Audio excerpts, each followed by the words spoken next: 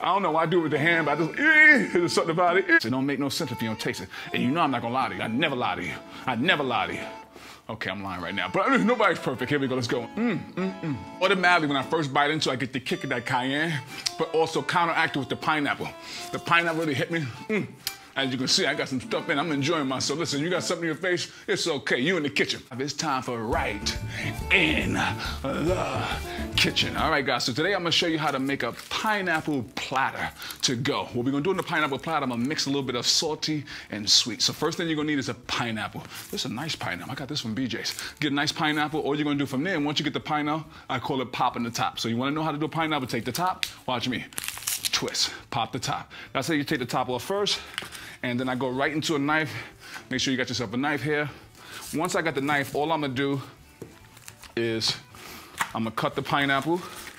You cut the top part here, let that go.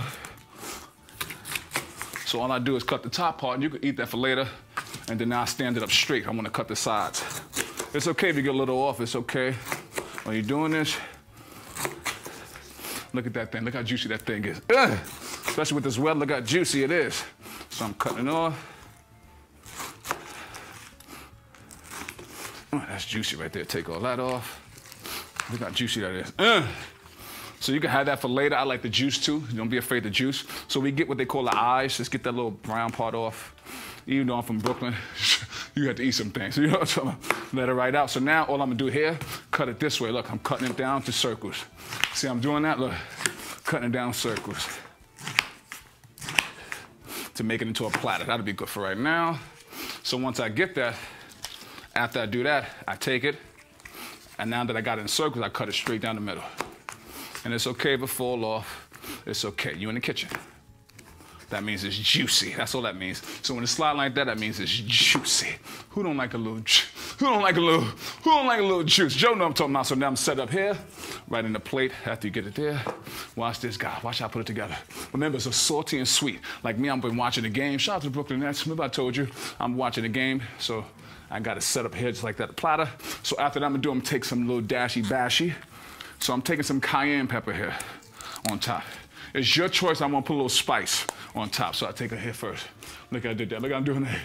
I don't know why I do it with the hand, but I just, eh, there's something about it. Eh. So I put that cayenne on top right there. Now I have to put the cayenne. I got sliced up peppers, pineapple, I mean, excuse me, peppers, onions, all that good stuff. We wanna make it salty and sweet. Throw a little salt in there, watch how I flip it. A little salt on top. Look, I did that. Right on top of there. Shout out to my boy Jason, he gonna love this joint right here. It's all about healthy treats. So now, again, I got some onions. All I'm doing is sprinkle them on top. Just like that, guys. I know what you're thinking. This don't make no sense right now. Listen, if it make dollars, it makes sense. Wait till you taste this joint. Imagine watching the game. So what am I doing? I'm replacing the tortilla shells. I'm replacing the bread, and I'm giving that salty and sweet effect. All right, so now we put it there. Look at that.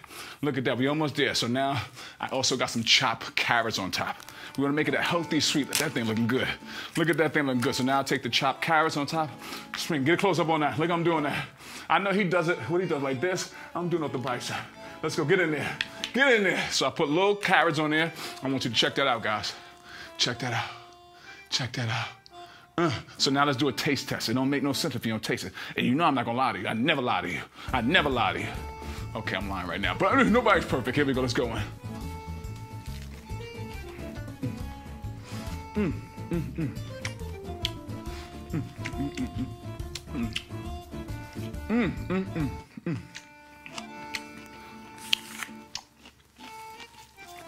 I got something in my face. I like this. Guys, you're gonna love it. Automatically, when I first bite into it, I get the kick of that cayenne, but also counteracted with the pineapple. The pineapple really hit me. Mm. As you can see, I got some stuff in. I'm enjoying myself. Listen, you got something in your face, it's okay. You in the kitchen. But I got the kick of that cayenne. Remember, cayenne really increases the heat in your body, help you burn that um, metabolism.